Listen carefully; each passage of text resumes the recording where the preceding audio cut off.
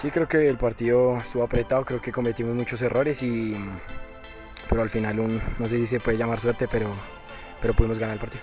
Sí, pues nuestra idea y la idea del técnico es que quedemos campeones y nada, y darlo partido a partido para que se pueda. Bueno, bien, uno se prepara para eso y se siente bien. Sí, eh, pues por un error, a los, faltando tres minutos, pues nos hicieron el gol y pues perdimos el partido.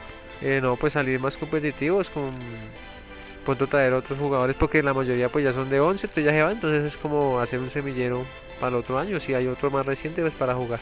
Eh, sí, hemos jugado en las intercolegiados Superate eh, con Deportes, eh, la Copa RCN que fue realizada por la Sergio Arbolea y, y en este que estamos participando.